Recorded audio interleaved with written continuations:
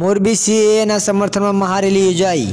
મોરબી નાગરિક સમિતિ દ્વારા કેન્દ્ર સરકાર દ્વારા બનાવવામાં આવેલ સીએએના કાયદાને સમર્થન આપવા માટે મોરબીમાં રેલીનું આયોજન કરવામાં આવ્યું હતું, જે મોરબીના માર્કેટયાર્ડ ખાતેથી શરૂ કરી નગર દરવાજા સુધી ચોક ખાતે પૂર્ણ કરવામાં આવી હતી.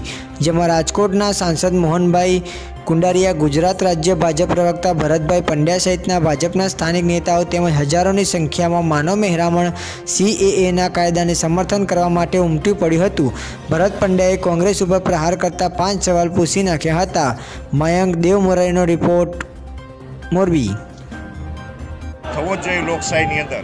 પણ આવા વિરોધો નહીં થવા જોઈએ કે જે રાષ્ટ્રની સંપત્તિ છે, એને નુકસાન થાય. આજે આ લોકોએ જે પોલીસો ઉપર અત્યાચારો કર્યા છે, પોલીસોની ગાડીઓ બાળી છે, ઘણી જગ્યાએ ઘણા બધા કરતૂતો થયા છે.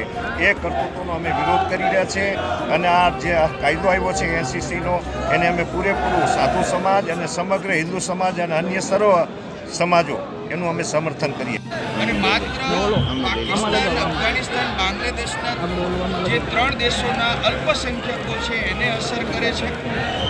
આ કાયદો જે તે ત્રણ દેશમાં પીડિત છે, જેમણે અત્યાચારનો સામનો કર્યો છે, અને જેઓ શરણાર્થી છે, એ શરણાર્થીને ભારતના નાગરિક બનાવવાની વાત છે અને નાગરિકતા આપવાની વાત છે દેવાની વાત છે ક્યાંય નાગરિકતા કોઈની પાછી લેવાની વાત નથી. પરંતુ કોંગ્રેસ એ માત્ર વોટ બેંકની રાજનીતિ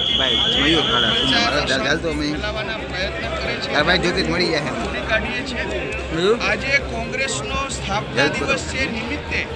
મહાત્મા ગાંધીજી જે કહ્યું હતું કે કોંગ્રેસને હવે વિખેરી નાખવાની જરૂર છે, તો અત્યારની પરિસ્થિતિ જોતા એવું લાગે છે કે કોંગ્રેસનું જે નકારાત્મક, ખંડનાત્મક, વિવાદ, ઉશ્કેરાટ અને વેરઝેરની રાજનીતિવાળું જે સ્વરૂપ છે, એ ભારતીય જનતા